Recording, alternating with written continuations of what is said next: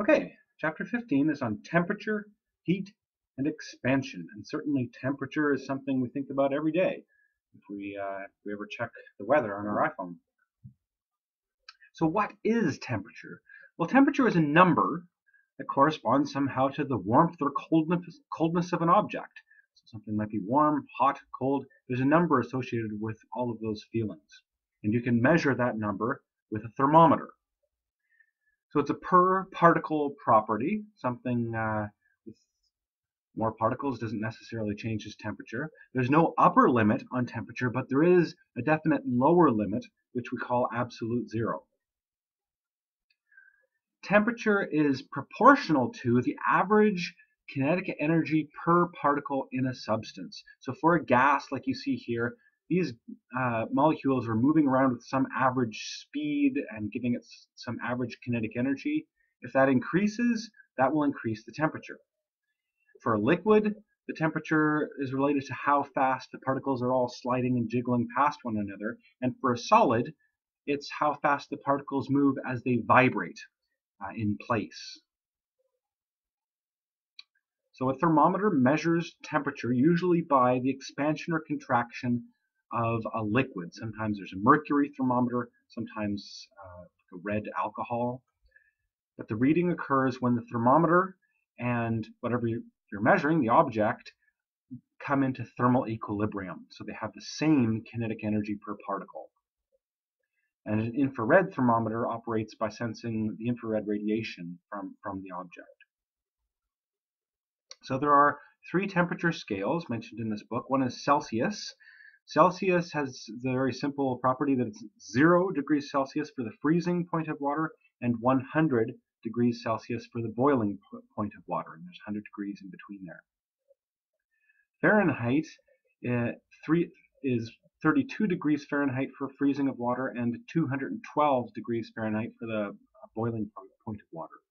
And there's no real advantage to using Fahrenheit, it's just a historically traditional uh, scale.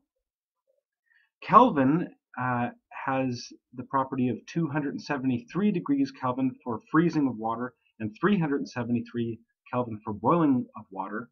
This is has an advantage in science in that zero degrees Kelvin is absolute zero. And it has the same degrees, uh, size degrees as the Celsius scale, but it has this advantage, uh, sometimes called absolute temperature, that it is directly proportional to uh, the kinetic energy per particle. Heat. Heat is a form of energy uh, that is transferred from one thing to another due to a temperature difference. It's energy in transit. And heat naturally flows from high temperature objects to low temperature objects. So for example, this coffee is high temperature and the hands around it are lower temperature, so heat will naturally flow out of the coffee and into the hands. And heat can never flow unassisted from a low temperature to a higher temperature object. So heat can be measured in joules, since it's a form of energy. We also use uh, the unit calorie for energy. Uh, it turns out 4.818 joules of heat are required to change the temperature of one gram of water by one Celsius degree. And we call that one calorie with a lowercase c sometimes measured by burning a peanut. So energy ratings from foods and fuels are determined uh, by burning that food and, and looking at how much energy gets released. So another unit of energy is subtly different. It's the calorie with a capital C, okay, sometimes called the kilocalorie. It's a thousand of the calories defined from the previous slide. And that's the amount of heat needed to change the temperature of one kilogram of water by one Celsius as opposed to one gram for a lowercase c calorie. Specific heat capacity. So this is a property of any substance. specific heat capacity is defined as the quantity of heat required to change the temperature of one kilogram of the substance by one degree Celsius. It's like thermal inertia. And Any substance will resist a change in temperature, and how much it resists it is determined by its specific heat capacity. So this water bottle has a, a high specific heat capacity. So if it's hot, it stays hot for a long time. So different substances might have different uh, specific heat capacities. For example, iron has a higher heat capacity than uh, than silver. So it takes about two minutes to raise the temperature of this iron pot uh, to boil water, but if, if the same size pot was used but made of silver, it could take less than one minute to raise the temperature uh, to boiling water. So water itself has a very high specific heat capacity. It's higher heat capacity than almost any other substance. And it involves the number of ways that the water molecule can absorb energy. So you can uh, absorb energy by the jiggling of the molecules, but also internal vibration between the hydrogens and the oxygen, or rotation. So this particular shape of the water molecule allows it to absorb energy without even increasing its translational, kinetic, translational kinetic energy. So specific heat affects climate in the sense that land has a smaller specific heat capacity than water. So ocean currents can carry a, a lot of heat from, for example, in the Atlantic, from the Caribbean regions up northeast to, to warm uh, the Western European countries. Thermal expansion. So when a substance uh, has an increase in temperature, the molecules are jiggling faster, and so therefore they usually move further apart and that expands the whole substance. So most substances expand when they're heated and contract when they're cooled. For example, railway tracks on a winter day, if they're laid down, if they expand on a summer day, they sometimes will buckle, as shown in this picture. Another example is a trick a lot of people know, which is that if uh, a metal lid is stuck to a jar, if you run it under hot water, it can expand the lid and make it get unstuck.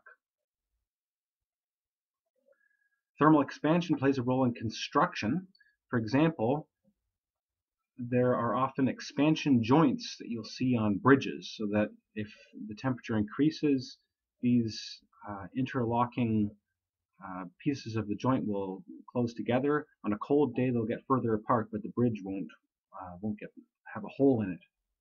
Also, the gaps on sidewalks are allow for the concrete to expand in the summer and contract in the winter without cracking the con concrete.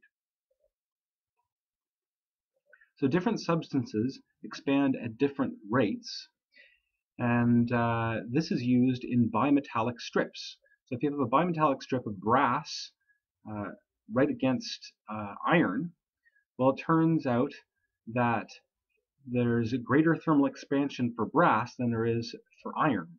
So if you put, if you cool uh, a bimetallic strip, the brass will, will contract more than the iron and it'll bend up towards the ice. At Room temperature, the bimetallic strip might be straight.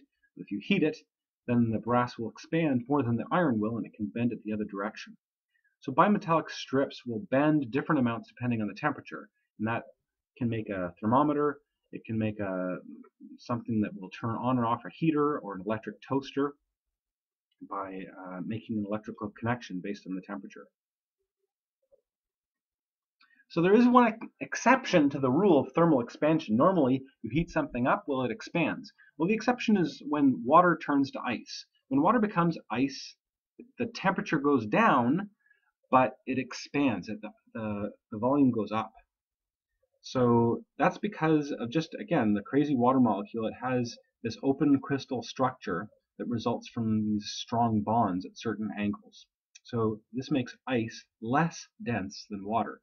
And Hewitt shows this rather complicated graph which just shows the volume of one gram of uh, H2O versus the temperature. So ice has a uh, one gram of ice has a volume of about 1.09 milliliters.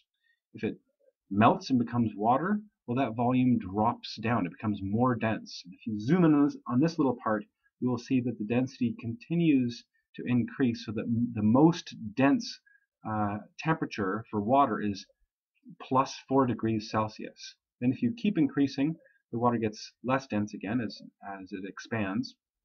It continues expanding until it boils, and then uh, water vapor has a very, very low, uh, low density. So when ice freezes to become solid, its volume increases tremendously. If you cool solid ice further, it will contract a little bit, but the density of ice at any temperature is still much lower than the density of water, which is why ice always floats on water, something that this polar bear knows pretty well.